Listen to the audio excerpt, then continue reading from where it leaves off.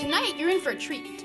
We have two poets here tonight with us, and after they read, they'll answer questions and sign books. Our first artist is Liz Whiteacre. Liz Whiteacre teaches creative writing at Ball State University. She is the author of Hit the Ground from Finishing Line Press and co editor of the new anthology New This Week, premiered this Monday. Um, Monday Coffee and Other Stories of Mothering Children with Special Needs. Her poems have appeared in Wordgathering, Disability Studies Quarterly, The Healing Muse, and other magazines. You can visit her website at White, whiteacrehitstheground.wordpress.com. Liz is an extraordinary artist, teacher, and colleague. Her work is wise, sly, and poignant. According to re- reviewer Linda Cronin, Liz Whiteacre has created a collection of poetry well worth reading and hearing. the words reach out to each and every one of us. Everyone has experienced pain at some point, and although it may not be constant or chronic, it is a situation that everyone can understand. We are pleased to have her here tonight. Ladies and gentlemen, Liz Whiteacre.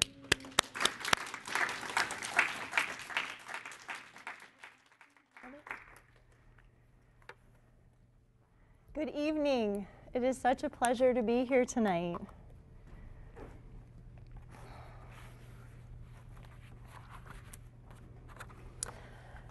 I'm going to read some stories, poems this evening um, that chronicle my experiences with spinal injury. Um, earlier today, Ida Hagman asked me some questions about the book, and one of them was, Why poetry? Why did you choose to tell your story through poems? My accident took place in 2000, and a lot of time passed before I started writing frequently about it. And I started to kind of come to my experiences in little vignettes or little moments, little bits. And I found myself kind of zooming in on something that seemed significant, writing about it until I realized it was significant, and then creating a poem from that moment. So I'm going to start with a poem called Cold in a Paper Gown. My first visit to the ER. I eavesdrop in the emergency room. Next door, past thin plaster, an orderly assures a stranger who cannot see out of her left eye that her doctor will soon arrive. Soon is measured by the number of emergencies. I wait on x rays. I cannot feel my feet. The pain in my hips and backs mimic childbirth contractions imagined each time the PA plays lullabies. They let me keep my underwear. The cotton comforts the pain when I stand or sit or lie down. My spinal fluid weeps, and the doctors whisper over my emergency. In the hall, a nurse examines the woman with a good right eye. Excuse me? The doorway stands the blinded woman.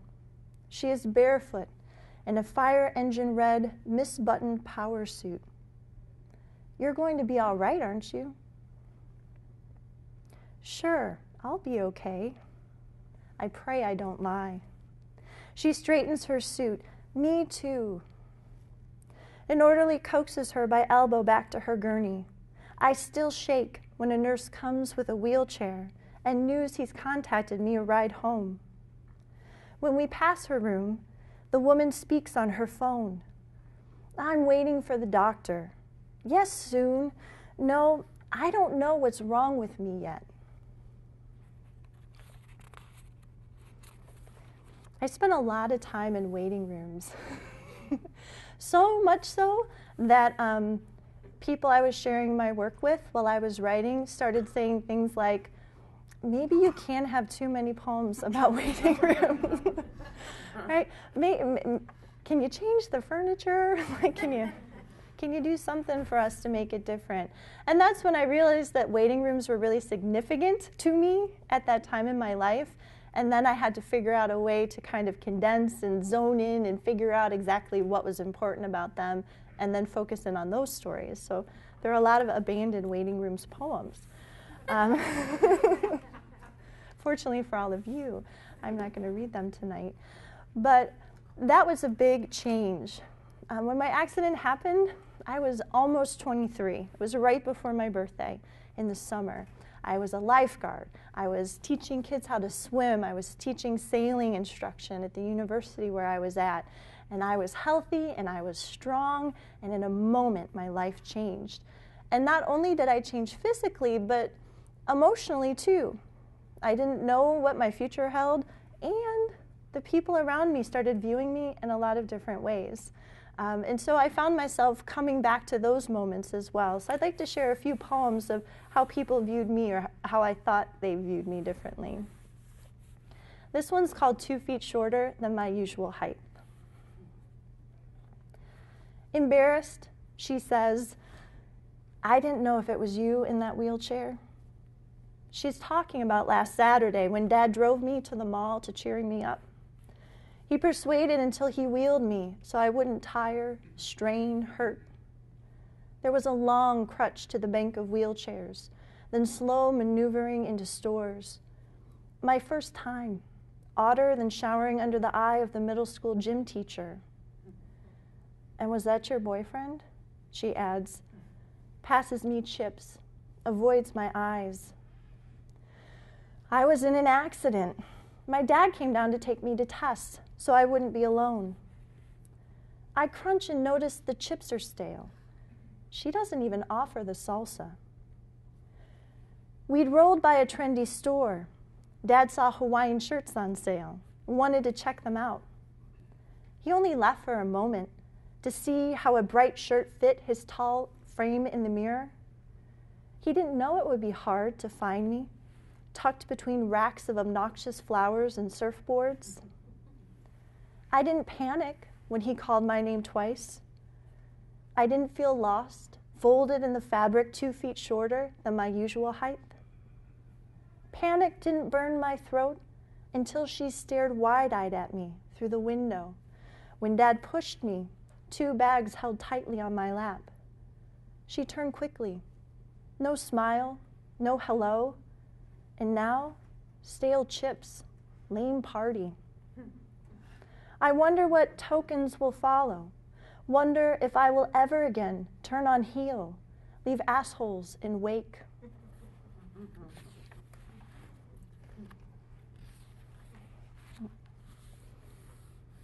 It's for my own good.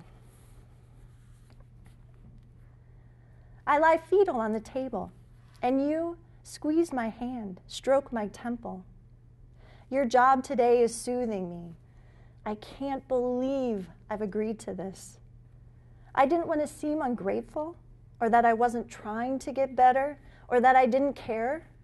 So I said, okay, now I'm letting this doctor stick long needles in me. Seriously, like they were this big. That's not in the poem, but really big. I'm pinned in this thin paper gown tense, and you, a stranger, stroke my hair as my mother's done, while this doctor pushes each thick needle into my hip and back, and his assistant, who smells of spearmint, pushes and pokes my skin as each slides in to help find just the right spot. Each needle burrows a tender tunnel. I'm a cheese grater now filled with so many ragged holes stuffed with saline. Tracks throb when the metal's removed. The doctor does it again and again. The Venus flytrap extract this doctor said would numb the pain doesn't help at all.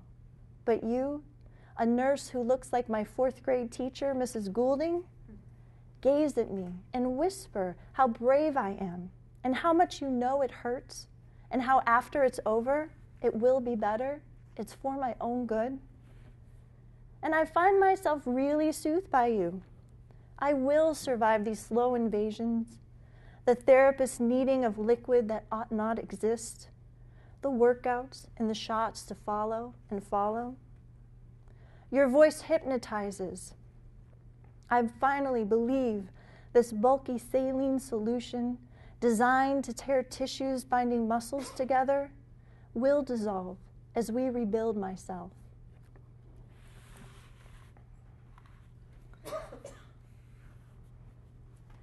Retirees pity me during water aerobics. yes, I had several jobs over the summer between in, in, in, graduate schools when my accident happened, and so I had been a full time student and didn't get a teaching position. They made sure I got one the next year. And then I was working for quite a different, like the community center and the Girl Scout camp and the, the Jewish camp and oh, the, the university, a bunch of different places I was bopping around and doing all sorts of different aquatic things. And one of them was teaching retirees at the community center every Tuesday, Thursday morning, water aerobics of all things. I was their fearless leader.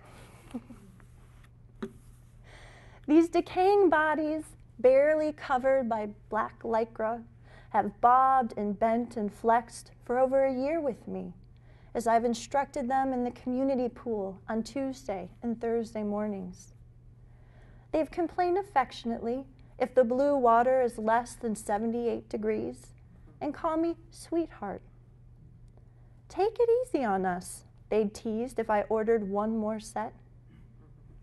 Chores or Kevin's visit the coming weekend were on my mind when I shouted ski or curl or push, churning chlorinated water.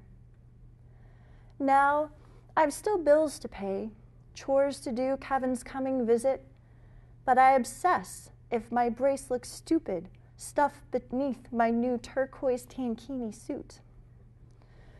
It's vanity, really, working to hide it from these men and women, some taking similar bursitis, arthritis, and pain medications. But it's ugly. Like the perm I begged my mom for in seventh grade. The two week home trial stuck, and months of hiding the frizz and ponytails until it grew out followed. I check and recheck to make sure the straps haven't flopped out, drag on my butt, invite stares. I instruct from a cold folding chair on the pool deck, goosebumped and on display, unable to hide behind well coiffed hair, well manicured clothes. My arms and legs feebly gesture moves these water aerobic veterans know by heart. Gossip and chatter is absent today, but for calls of, How you doing, honey? I'm no longer invincible youth, no age before beauty jokes when the ladies shuffled with me out of the locker room. I was the girl on the Clairol commercial, shiny curls swishing, confidence showing in my perky routines. I used to bounce effortlessly in the water while they struggled to keep up, their bodies protesting. And now, propped by ugly brace, I watch from the sidelines as an eager pubescent watches kids dance in the gym from the bleachers. I call scissor, egg beater, sweep, and their buoyant bodies respond, beautifully churn water.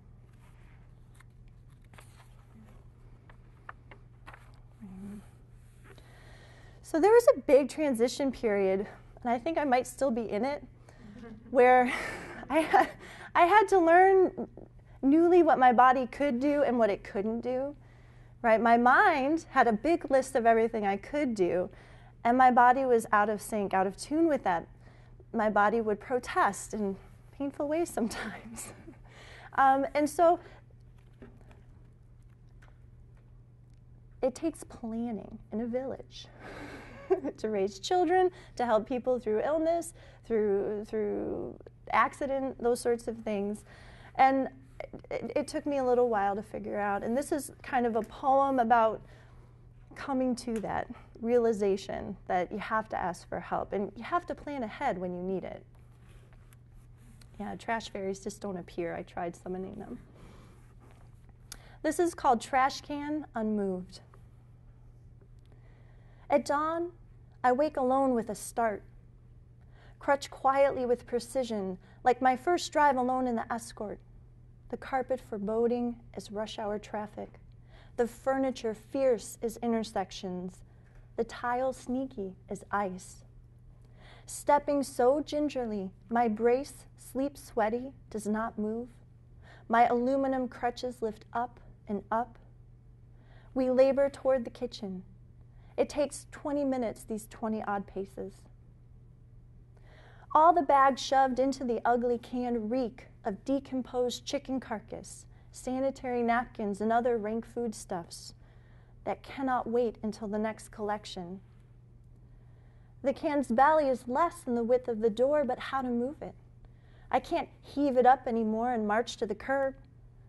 It thuds when tapped at its base by a crutch's toe. It won't budge, and pain shoots down my back, down my leg.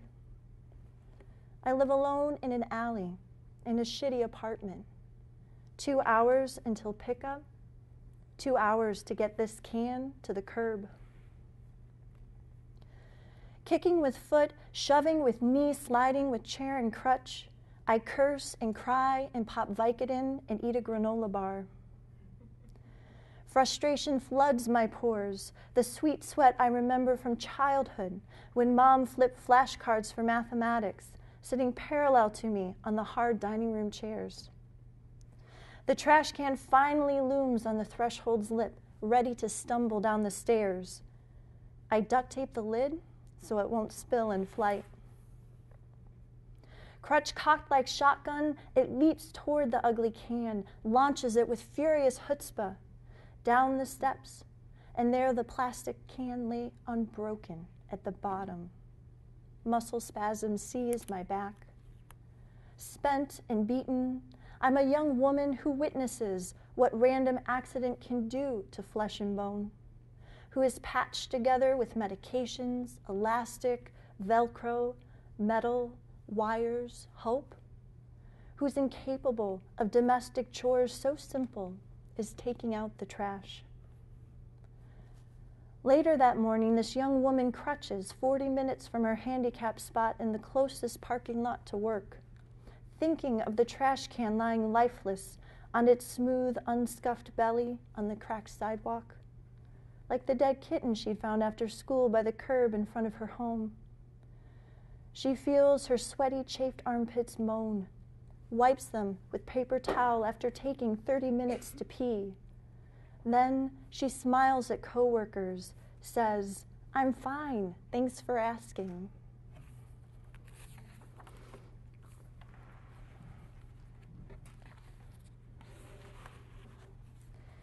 So when I was developing a lot of the material for the book, I came across this prompt.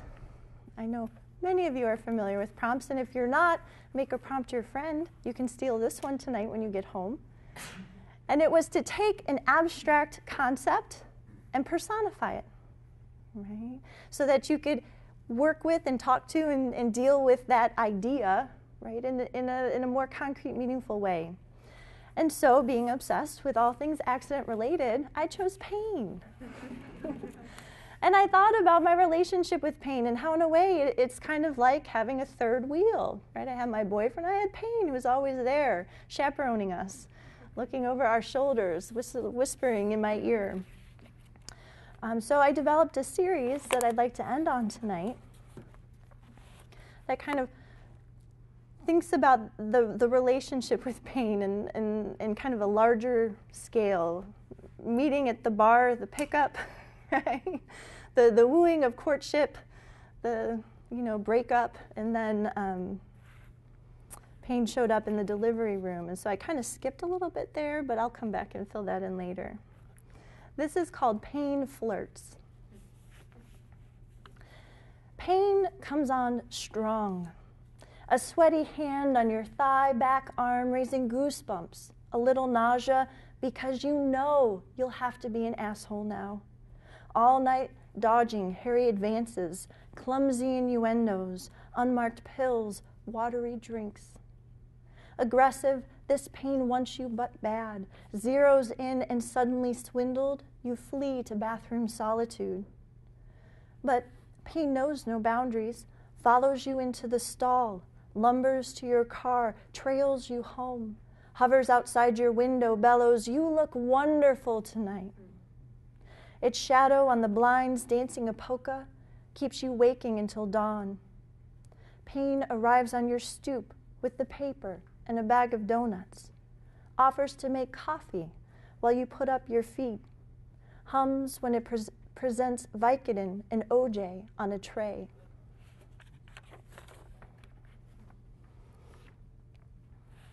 Pain courts.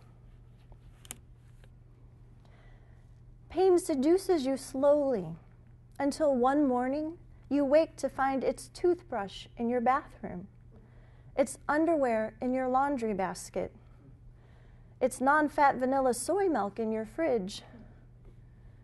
Saturday mornings, Pain sips coffee with you on the sofa, laughs over New Yorker cartoons. Soon, you take Pain home to meet your family. It sits between you and Grandma at the long table leaves with you at dusk, and complains bitterly the drive home of the many miles, the bread pudding, the early Monday to come. Inseparable, pain helps prepare taxes, pick paint for kitchen walls, trim toenails. Each night before bed, it hums between the sheets. Pain is needy, doesn't like when you're unconscious, wakes you the moment you dream of something else.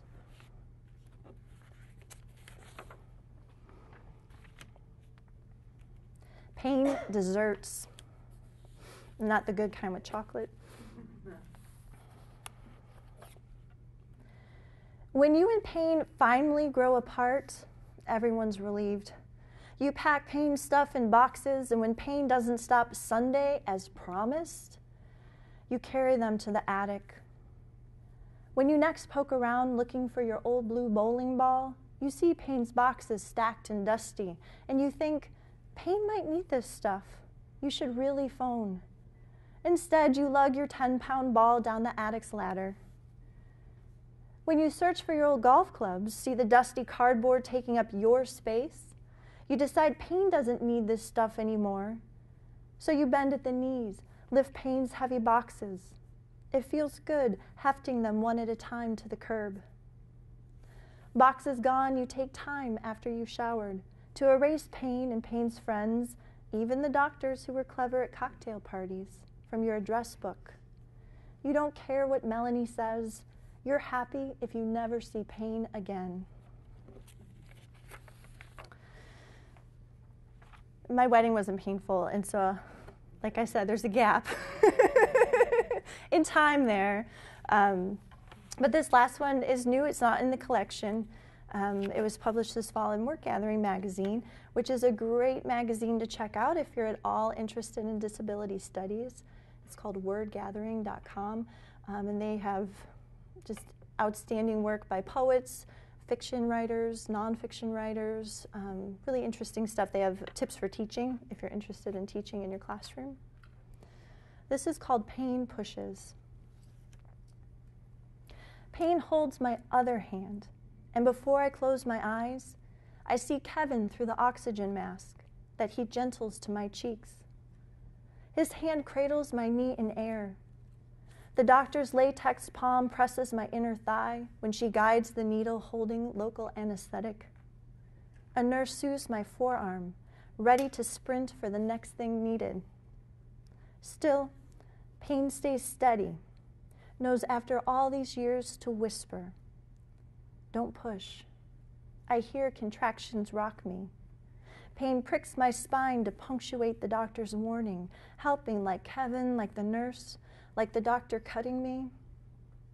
I forget the husha husha he he. Pain elbows my ribs, makes my breath pop. Breathe, don't push. We negotiate, Pain and I, like we might over the remote. Or who's running back to the store for eggs? Whether the garden can go another week without weeding. No, like we might over the best path to Texas, where we'll take her this Christmas. Soon. Pain teaches me patience, that my body can unfold, muscles bloom, nerves pulse neon. In these moments when I ask it not to push and it doesn't, and when I ask it to push and it brings forth new life. Thank you so much for your time tonight.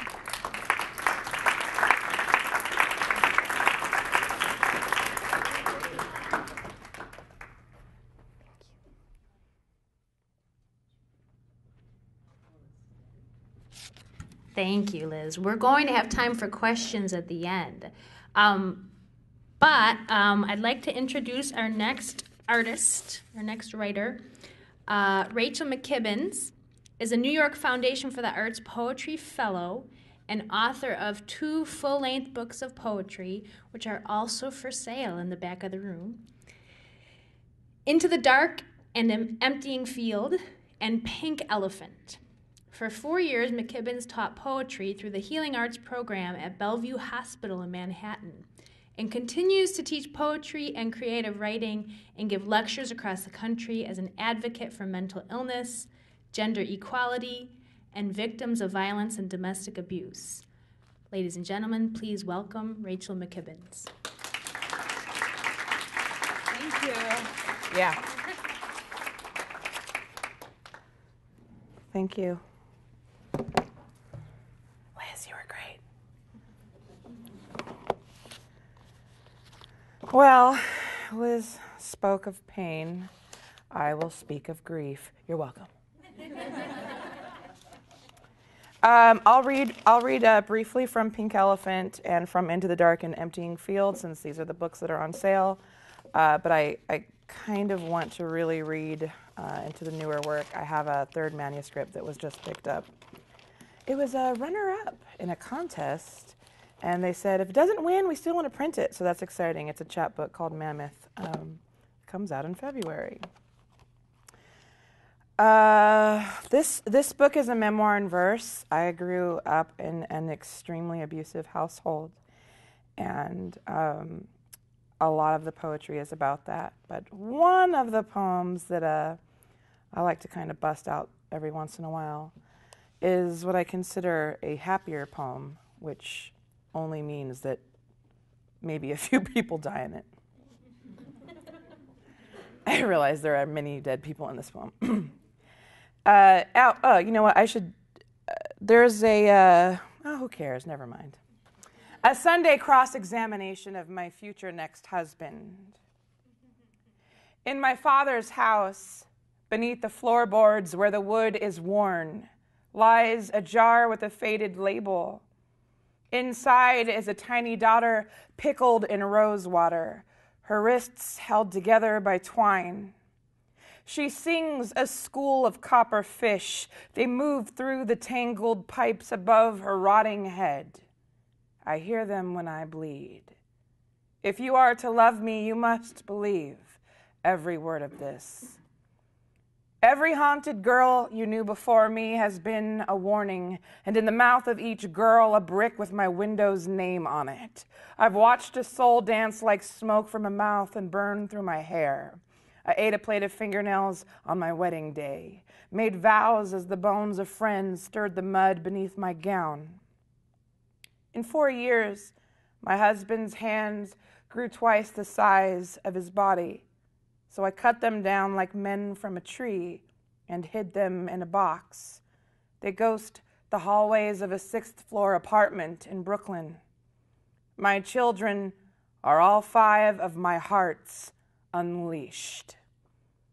When I die, will you bring me flowers and a box of chocolates? Will my going skin be your saddest song? Do you understand? Instead of becoming a woman you grow old with. I want to be the God you run to.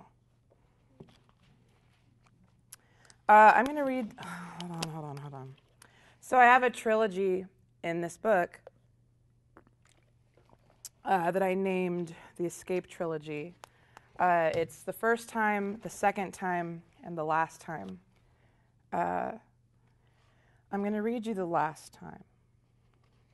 Uh, but the first one uh, speaks of when my brother and I tried to run away. We were very young. uh, we ran away barefoot and uh, with a uh, pillowcase full of coins. And the second time, it was uh, my pseudo stepmother and I that tried to leave the house.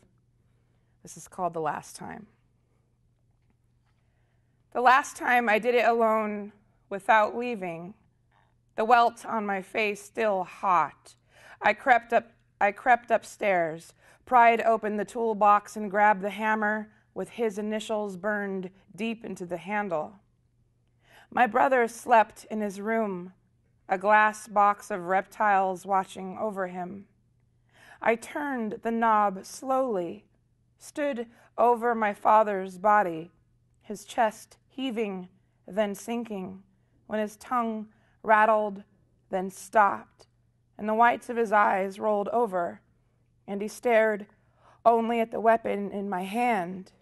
And I looked at him, and I said, If you ever touch us again, I will kill you. And then he saw me. Okay, he said. Okay. Uh, the second book uh, is what I consider more truthful. Uh, and by that it means there's a far more fantastical elements woven throughout to hide uh, people's identities because everyone I know sucks. Uh, I keyed. Uh, I'm going to read you guys a pantoum. There was one summer, well, like every other summer, um, there's always seems there always seems to be a rash of uh, uh, deaths happening to to girls and uh, there was one in particular where it was on the news, it was about one a day for a good eight days. And uh, I nearly lost my mind. Being um, a severely empathetic person, or as my beautiful son has called me, an empath, uh, I have this uncanny ability to literally absorb trauma in a very not healthy way. And uh, so, writing, of course, is one of my uh, most important outlets. Poem for Three Dead Girls of Last Summer. My sweetheart says I can no longer watch the news. You worry too much. And he is right. My fear is a drilling, it is constant and blood thick. That girl in the suitcase, that wife in the river, that woman in the elevator needed me. I worry too much. It is my right. My fear is a drilling, a songless bird perched upon my shoulder. That wife in the river, that woman in the elevator needed me, but I have three girls of my own. They are mine, mine, mine. And the songless bird perched upon my shoulder watches over them, my sweet little Gretels who follow me home. These three girls who are mine, mine, mine, gobble up my heart like a hunk of bread. When men see them, my dear little Gretels, they follow me home. When there is a knock at the door, I stash my darlings in a cupboard. They've come to gobble up my girls like hunks of bread. Men line up like ants to take them away, to carry them home. When there is a knock at my door, I hide my darlings inside a cupboard like bowls of sugar. When they sleep, I wrap them in kite strings, line them up like ants so no one can take them and carry them home. They clutch their dolls, and all night long they wish for boys like bowls of sugar. As they sleep, I hold them like kite strings, constant, blood thick. That girl in the suitcase clutched her doll and all night long wished she'd been a boy. My sweetheart says I can no longer watch the news. I'm going to close out, uh, close out this book with something fucked up or messed up. Hmm. So many choices. we didn't know how to open the book. We I knew what poem I wanted to open the book, but it couldn't be the first thing that you that the reader saw in the book. And I thought, well, how about this? Instead of a poem, I'm going to create um, a scene, and uh, it kind of depicts a talk show, and that'll give you an example as to what's in store for you uh, for the next uh, 75 pages. So there, there's no title. It's just a block of text. A young woman from Afghanistan is the special guest on an American talk show. She tells her story through an interpreter how she ran away from her husband's abusive family and hid in a field for two days before she was captured and returned. Shamed by this blatant lack of devotion, her in laws hacked off her ears and nose.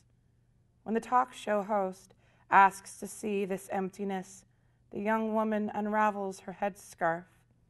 Studio audience gasps at the soft ditches tucked beneath her hair, the quiet, bell shaped hole hanging above her mouth. The talk show host announces she has a surprise for the young woman, then beckons for a serving cart to be wheeled on stage. Waiting on a silver platter are a pair of polished ears and a cute button of a nose carved from only the finest oak. The young woman weeps in astonished joy. Then a raffle is held, and a lucky audience member comes racing down the aisle, waving his winning ticket. The man is awarded a hammer and a bucket of nails. As he pounds her new nose into place, the man can't resist, nailing the young woman's eyes shut too. He's always been a superstitious fellow. No peeking, his dear mother used to warn as she slid his gifts beneath the Christmas tree. No peeking, she'd growl as she crawled beneath his little bed. Thank you for the laughs.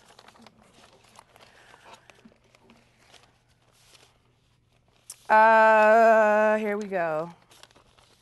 Moving right on to the to the real grief. Um, woohoo! Here we go. Where is that stupid poem? Not stupid. Where is that brilliant poem? So um, my my niece was conceived in Portsmouth, Ohio, which seems like an ordinary thing that happens. How we are all created. We are conceived.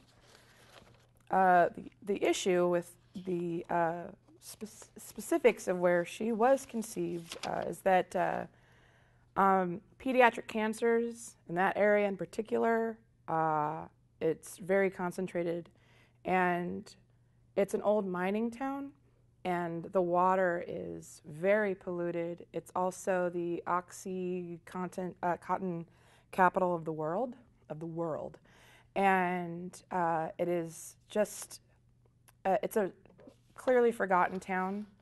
I do believe that uh, the government wants just everyone to die off so that they could just bulldoze everything and build a bunch of you know big important money making uh, companies and, and, buildings.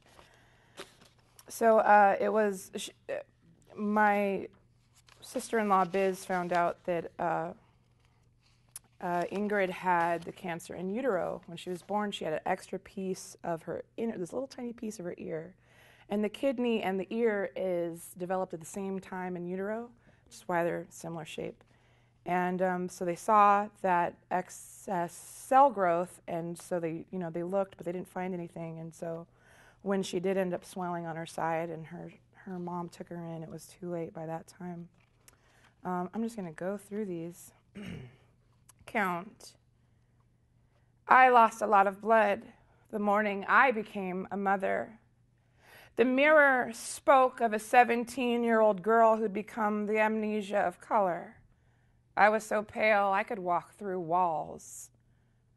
And what an astonishing language, that of a mothering body.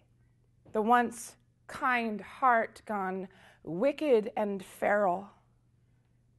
Did I tell you, as I nursed my son that first hour, I felt my bones begin to thicken, spinning themselves into a coven of axe handles? But wait, it gets worse. She was changing her diaper and noticed a hard lump on her side. She took the baby to a clinic, but they didn't know what it was. They referred her to a specialist in Columbus for a biopsy. They said it might be. She said, I don't know what I'll do if I can't deal with any more of. But I've been sober for. I don't even know if my car will make it all the way to. I did everything I was. Why can't I ever? Six months to a year. The water in the sink will not drain. I mean your body of its poison. The pump pumps, yet the fluid returns at once to be there to clog and waste your lungs. The rotting dishes have risen to just below the cupboard. I reach into the garbage disposal. The scalpel circles the tumor. Well educated surgical steel, radiant and holy. Then a starched voice, scraps of peeled carrots, eyes of a potato, pale macaroni, anemomed cells clumped around a kidney. The water darkens with your baby hair. I roll up my sleeves, feel both of your hands, but only the hands, nothing else, or everything else. What's done is done. Greetings from the house of defeat. Close to the end, we were told to push the button every eight minutes were handed pamphlets on how to accept the death of our loved one. After her organs shut down, the nurse shook her head. No more liquids. Desperate rules for the dying. But tell me you could have resisted when she sat up for the first time in three days, gray lids painted in a morphine fog, and pleaded only for water. Water? What person wouldn't abide? Wouldn't burn down the tarnished face of God if they could?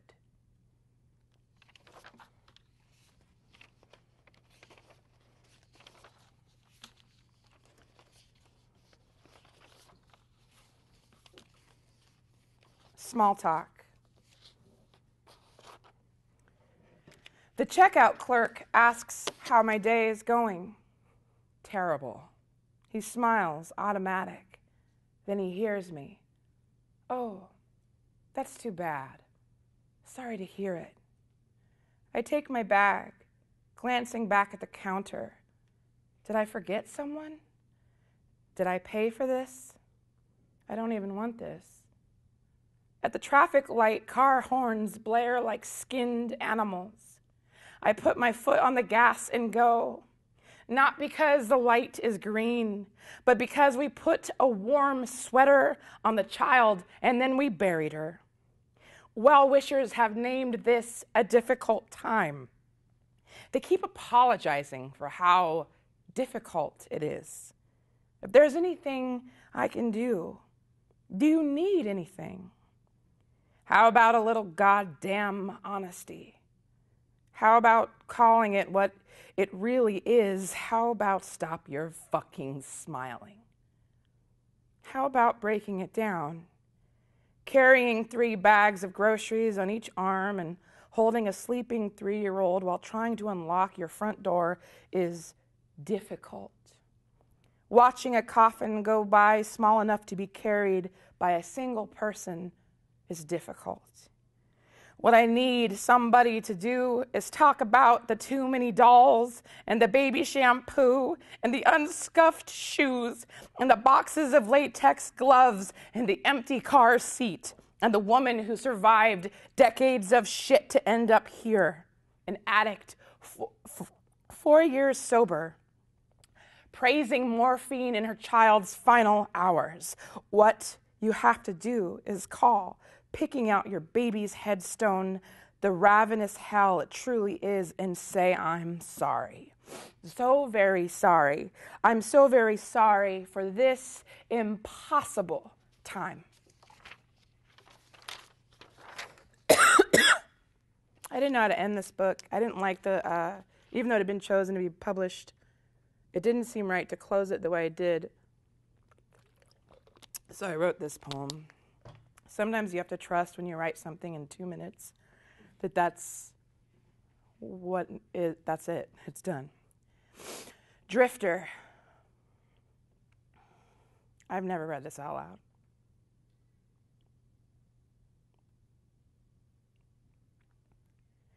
You loved me before I knew you, back when I was only a shadow, a dark existence lit by sonogram.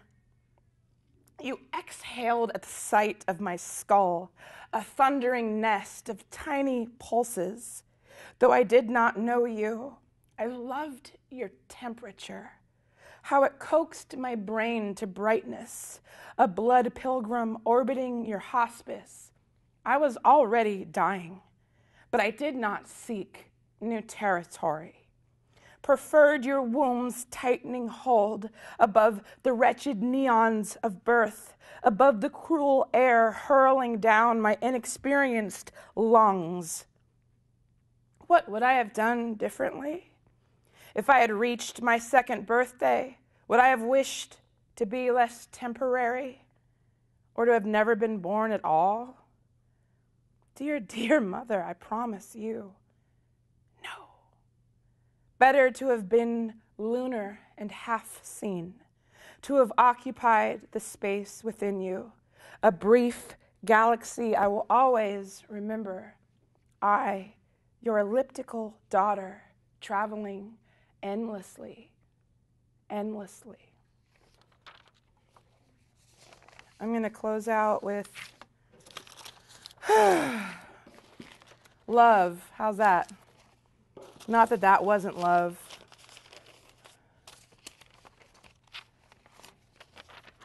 This is, uh, I keep Maybelline waterproof mascara in business, bitches. I really do. No one shake my hand. I've been wiping my snot on my pants for the last three poems. To my daughters, I need to say go with the one who loves you biblically, the one whose love lifts its head to you despite its broken neck, whose body bursts 16 arms electric to carry you gentle, the way old grief is gentle. Love the love that is messy in all its too much the body that rides best your body, whose mouth saddles the naked salt of your far gone hips, whose tongue translates the rock language of all your elegant scars. Go with the one who cries out for his tragic sisters as he chops the winter's wood. The one whose skin triggers your heart into a heaven of blood waltzes. Go with the one who resembles most your father, and not the father that you can point out on a map, but the father who is here, is your home, is the key to your front door.